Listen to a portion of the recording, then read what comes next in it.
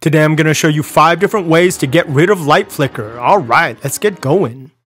Brickology! Hey everybody, Thomas here. Today I want to talk to you about something that plagues a lot of us when we first start off doing stop motion and you know, it can rear its ugly head even for the more experienced filmmakers. And this is light flicker.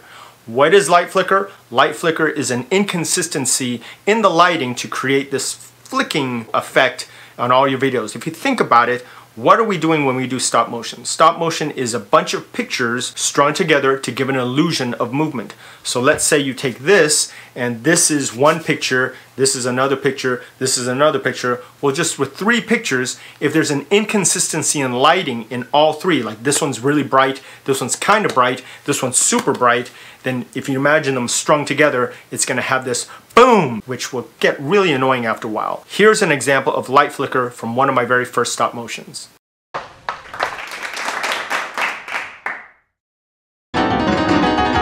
As you can see, the inconsistency in the lighting really makes it difficult to watch after a while. So in this video, I'm gonna go over with you the top five things that you can do to get rid of light flicker. But before we start, subscribe!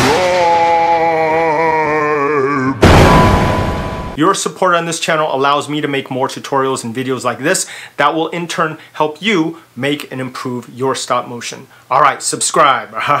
and now let's get going. Number one, take your camera, whichever camera you're using on your phone, a DSLR, doesn't matter what it is, a webcam, and make all the settings in that camera to manual. Why do you want to do that? Well, Thomas, doesn't the camera know best? Shouldn't I keep it on auto to make the best picture that the camera can get? While theoretically that may be true, let's go back to our three picture example. If the camera sees something in this one and sets all of its settings and automatically makes this picture the best it can be, you're like, yeah, super cool.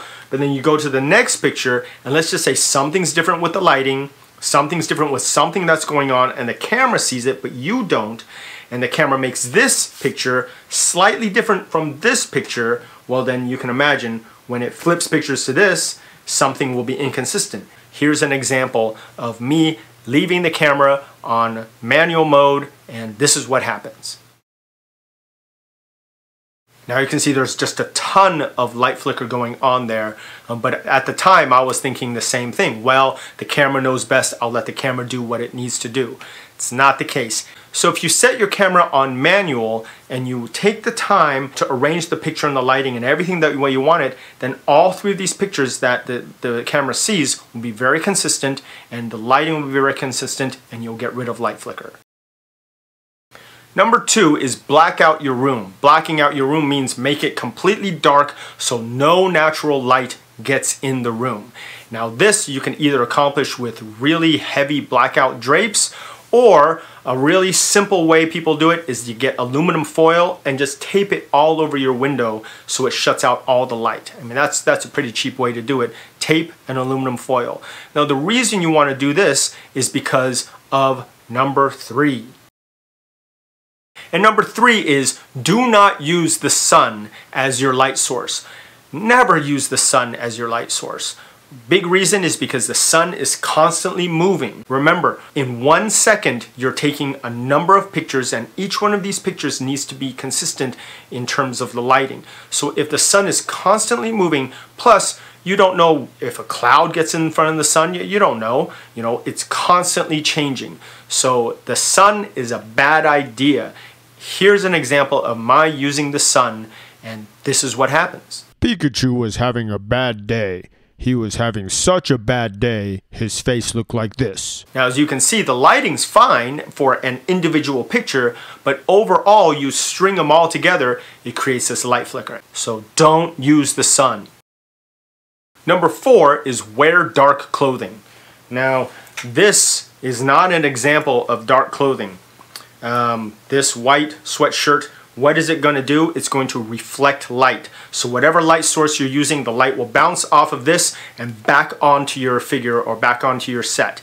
And that will create an inconsistency in the lighting. Oh, another thing is make sure that what you're wearing isn't reflective. Like if you have, I don't know why you would wear it, but a disco ball shirt, you know, with all these aluminum, you know, light chrome things shining off of it, don't do that, man.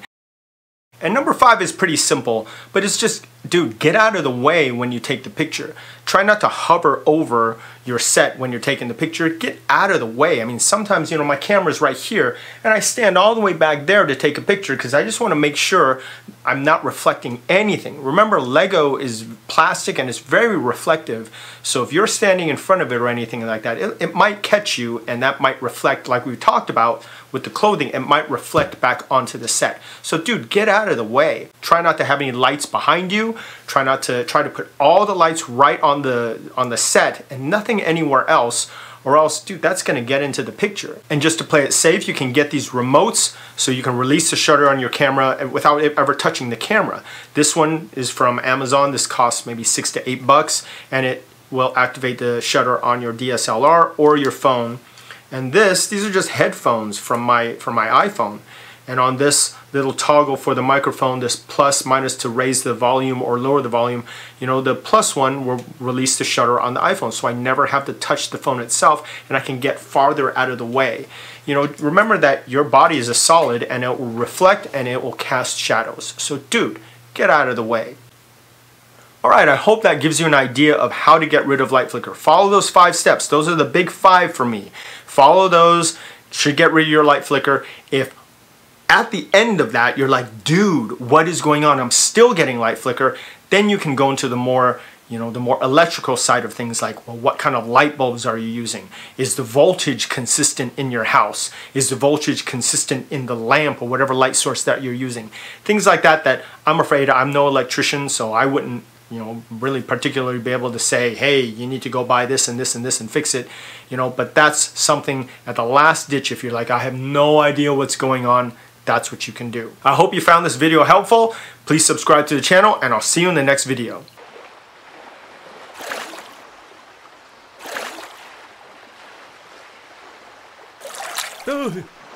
Subscribe! Subscribe! Subscribe!